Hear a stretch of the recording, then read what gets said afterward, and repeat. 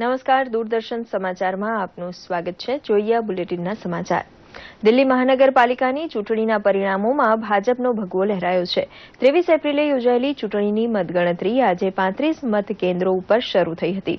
બસો સિત્તેર બેઠકો માટે પૂર્વ, ઉત્તર અને દક્ષિણ ઝોનમાં ભાજપે કોંગ્રેસ અને આમ આદમી પાર્ટીને પાછળ રાખીને સત્તા કબજે કરી છે. પ્રદેશ કોંગ્રેસ પ્રમુખ અજય માકને હાર સ્વીકારીને પોતાના અધ્યક્ષ પદ પરથી રાજીનામું આપ્યું છે. કેન્દ્રીય માહિતી અને પ્રસારણ મંત્રી વેંકૈયા નાયડુએ જણાવ્યું કે દિલ્હીમાં ભાજપની જીતથી સ્પષ્ટ થાય છે કે દેશની જનતા પ્રધાનમંત્રી મોદીના વિકાસના મુદ્દા સાથે આગળ વધવા માંગે છે. દિલ્હી ભાજપ પ્રમુખ મનોજ તિવારીએ આ જીતને પ્રધાનમંત્રી મોદીની નીતિઓની તેમજ ભાજપ કાર્યકર્તાઓની મહેનતની જીત ગણાવી હતી. પ્રધાનમંત્રી નરેન્દ્ર મોદીએ ટ્વીટ સંદેશામાં દિલ્હીમાં ભાજપના જ્વલંત વિજય બદલ કાર્યકર્તાઓ અને જનતાને અભિનંદન પાઠવ્યા હતા.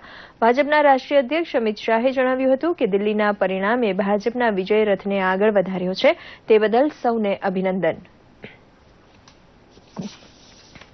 મુખ્યમંત્રી શ્રી વિજય રૂપાણીએ દિલ્હી નગર નિગમમાં ભાજપને મળેલો જ્વલંત વિજય પ્રધાનમંત્રી નરેન્દ્ર મોદીની વિકાસશીલ નીતિઓનો પડઘો ગણાવ્યો છે. રાજકોટ ખાતે એમણે જણાવ્યું કે દિલ્હીની જનતાએ કોંગ્રેસ અને આપને સ્પષ્ટ જાકારો આપ્યો છે.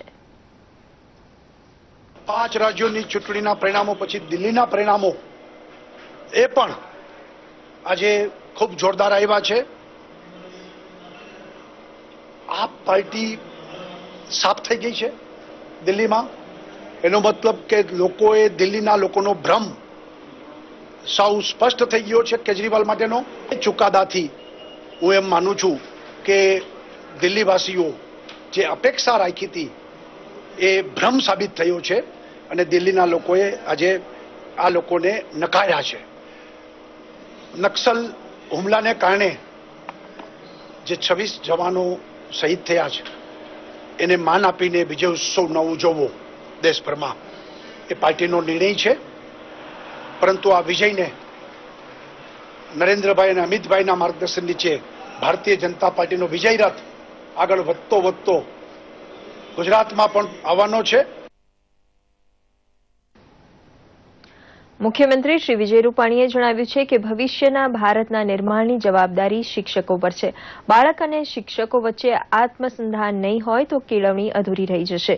રાજકોટ ખાતે યોજાયેલી સૌરાષ્ટ્ર વિભાગની ગુણવત્તાયુક્ત પ્રાથમિક શિક્ષણ સામૂહિક જવાબદારી આત્મચિંતન શિબિરમાં સંબોધન કરતા મુખ્યમંત્રીએ કહ્યું કે રાજ્ય સરકાર ગુણવત્તાયુક્ત શિક્ષણ માટે સતત પ્રયાસશીલ છે.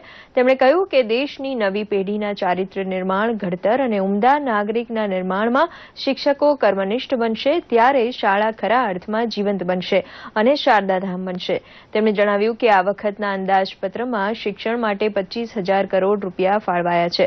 માત્ર ભૌતિક સુવિધા એ જ માત્ર શિક્ષણ નથી, પણ શિક્ષણ સાથે સંસ્કાર પણ જરૂરી છે. તેમણે શાળાના વાતાવરણમાં શું ઘટે છે તેનું આકલન કરવાની જરૂર જણાવી હતી. મુખ્યમંત્રી વિજય રૂપાણીએ જણાવ્યું છે કે ગુજરાતનો લઘુ ઉદ્યોગ દેશના ઔદ્યોગિક વિકાસ માટે રાહબર બન્યો છે. રાજ્યમાં લઘુ ઉદ્યોગોને વ્યાપક ફલક આપવા સરકારે એક કરોડ રૂપિયાની ફાળવણી કરી હોવાનું એમણે જણાવ્યું હતું. રાજકોટમાં લઘુ ઉદ્યોગ ભારતી આયોજિત ઔદ્યોગિક મેળાનો આરંભ કરાવતા મુખ્યમંત્રીએ વધુમાં જણાવ્યું કે આવા એમએસએમઈ ઉદ્યોગોનો ફલક વિસ્તારવા સંપૂર્ણ માળખાકીય સુવિધા સાથે આધુનિક જીઆઈડીસીનું પણ નિર્માણ કરવામાં આવી રહ્યું છે. તેમણે કહ્યું હતું કે રાજ્ય સરકાર ગુજરાતને ઇન્ડસ્ટ્રીયલ હબ બનાવવા કટિબદ્ધ છે. તેમણે કહ્યું કે વેપાર, ઉદ્યોગ, રોજગાર ક્ષેત્રે ગુજરાતીઓ દેશ અને દુનિયામાં હંમેશા અગ્રેસર રહ્યા છે. તેમણે સૌરાષ્ટ્રભરના વિવિધ ઉદ્યોગો પર આધારિત ત્રણસો સિત્તેર સ્ટોલમાં યોજાયેલ પ્રદર્શનની મુલાકાત લીધી હતી.